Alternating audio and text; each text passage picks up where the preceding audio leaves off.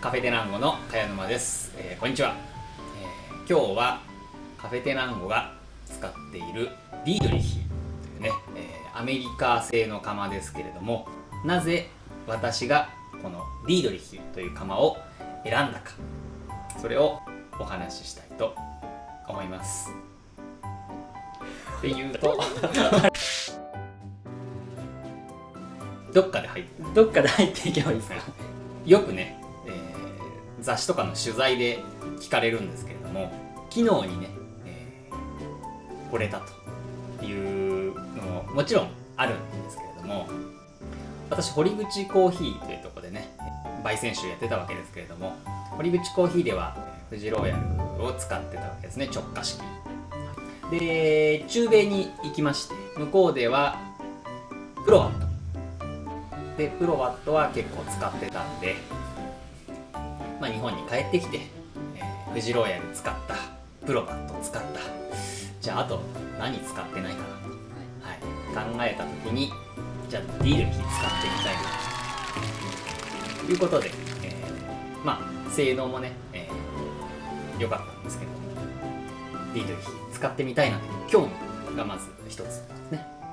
でもう一つはやっぱりその工場ではなくてショップロースター店舗の中に設置されるロースターなのでかっこいい方がいいな。確かに。見た目は大事です、はい。見た目は大事ですね、まあ、赤くてね、えーかっこよかったと。でまあ使ってみようということになったわけです、当時からこの赤は選べたりしたんですか？色は。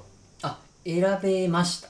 なんか赤にする緑にする黄色にするみたいな何色かしかなかったすごいざっくりとした聞かれ方で、うーん、じゃあ赤でいいです、みたいな。まあ後でなんか調べたらすごいいっぱいカラーバリエーションあったんだけど、赤で正解でした。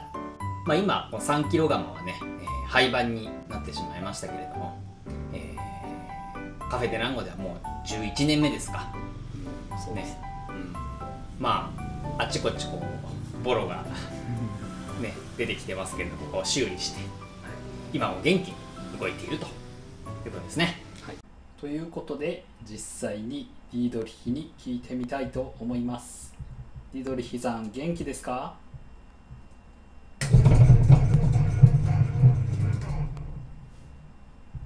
ディードリヒも元気だと答えております。まあ、ディードリヒについてはですね、えーまた別の動画で、えー詳しくお話ししたいと思います。なるほど。はい、ディードリヒの秘密という続編が続あるわけですね編が、はい、あります。とりあえずなぜカフェテナンゴが、えーディードリヒを今使っているのかというね、えーお話でした。